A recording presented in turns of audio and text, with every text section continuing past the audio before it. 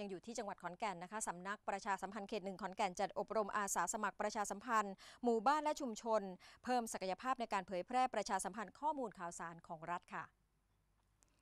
นางอุบลรัตน์คงกระพันธ์ผู้อำนวยการสำนักประชาสัมพันธ์เขตหนึ่งขอนแก่นเป็นประธาน เปิดโครงการอบรมพัฒนาศักยภาพ อาสาสมัครประชาสัมพันธ์ประจำหมู่บ้านและชุมชน หรืออปมช ในพื้นที่จังหวัดนครราชสีมา เพื่อให้เครือข่ายการประชาสัมพันธ์มีศักยภาพ และประสิทธิภาพในการเผยแพร่ประชาสัมพันธ์ข้อมูลข่าวสารของรัฐ ไปสู่ประชาชนในพื้นที่ได้อย่างถูกต้อง โดยปัจจุบันพื้นที่จังหวัดนครราชสีมา มีสมาชิกอปมช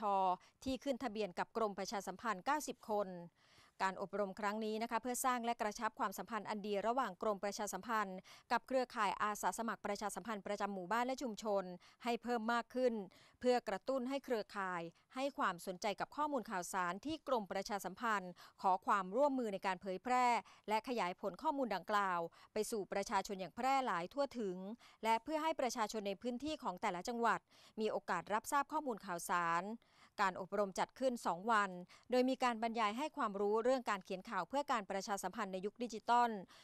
บุคลิกและการพูดเพื่อการประชาสัมพันธ์ เทคนิคการพูดในที่สาธารณะ เทคนิคการเป็นผู้ประกาศและผู้รายงานข่าว พร้อมทั้งการแลกเปลี่ยนการทำงานกับอปมช รุ่นพี่ค่ะ